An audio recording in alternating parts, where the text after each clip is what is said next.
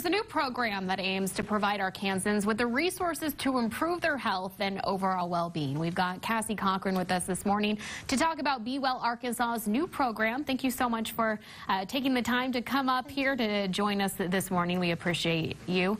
Um, for people who are learning or want to learn about this program, tell us a little bit about um, what it entails. Okay, so Be Well Arkansas is an enhanced uh, transformation of the previous tobacco cessation program through the Arkansas Department of Health. So as far as the new aspects, mm -hmm. it not only targets tobacco cessation anymore, um, it also includes diabetes management and hypertension. So in Arkansas, the leading causes of death uh, are stroke, cancer, and heart disease. Mm -hmm. So fortunately, these diseases are uh, preventable and yeah. manageable. So with the new program and the wellness coaches that are available, um, Arkansans can get resources to help them better manage and hopefully prevent these illnesses.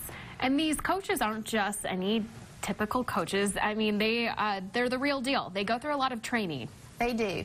The wellness coaches have had extensive training um, through MD Anderson for tobacco cessation and the other resources that are provided through the Be Well Arkansas hotline. Why is a program like this so crucial for the state of Arkansas to have?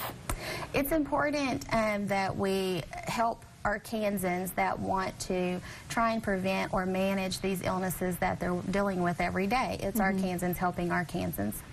Now, if someone's watching right now, they want to get involved in this program, how do they go about doing that? Sure, there's two ways. Uh, we have a website.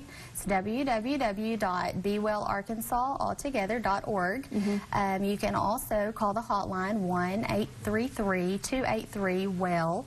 If you uh, remember the 1-800-QUIT-NOW yeah. hotline has been advertised for a long time. If that's what you can remember and you dial that number, it will link you into Be Well Arkansas also. Okay, great information. Cassie, thank you so much for thank taking you. the time to join us this morning. Of course, if you're looking to get enrolled in this program or learn more about it, we will have that information on our website later this morning. That's fox24news.tv.